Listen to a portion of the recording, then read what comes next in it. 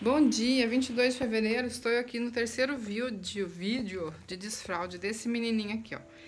Ele trocou de roupa porque ele tinha feito, tava vazado com xixi, né? Então daí ele deixou eu trocar, belezinha. Só que agora ele fez cocô, e aí a mãe dele quer trocar, e o que que ele fala? Não, vamos trocar o cocô? Vamos, filho, tirar o cocô? Vamos limpar o bumbum? Tá sujo, quer ficar sujo? O bicho vem pegar o seu cocô, hein? Vamos tirar? Eu fico falando assim pra ver se ajuda. Vamos tirar o cocô? Tá fedido. Olha que fedor, quedo. Vamos? Va vamos limpar o bumbum? Não. Sim. Não?